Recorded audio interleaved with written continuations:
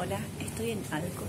Es el local de bebidas alcohólicas que tiene el gobierno de, de Finlandia.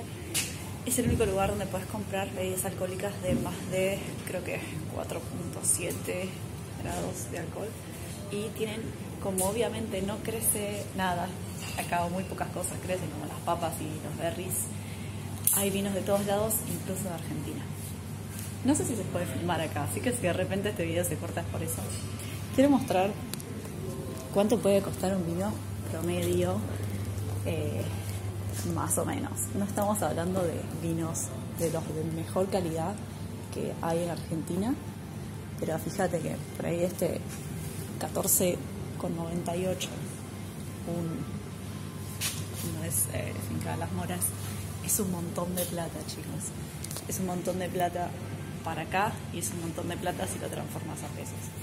Eh, hay una sección de vinos blancos también y no hay tanta variedad de, Argentina. Pero bueno, acá tenés todo. Por ejemplo, te voy a decir, en el piso de arriba, esta es la bodega, está abajo. En el piso de arriba están las cervezas y las, las bebidas fuertes, bebidas blancas.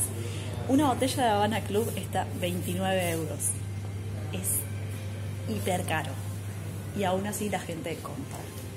Eh, también lo que hacen es irse a Estonia y compran en el ferry o compran en Estonia. Lo que yo no sabía y me hace poco es que podés comprar en por anticipado en el sitio del ferry y cuando vos entras con tu auto directamente ya te ponen todo ahí para que vos lo empaques y listo. Y podés ir y volver en el día por algo de 29 euros. No sé si con, el auto debe ser un poco más, pero 29 euros el más barato, el, ferry más barato. Eh, la gente suele hacer eso. Yo vivo cerca de la estación de ferries y siempre veo gente llevándose carritos con,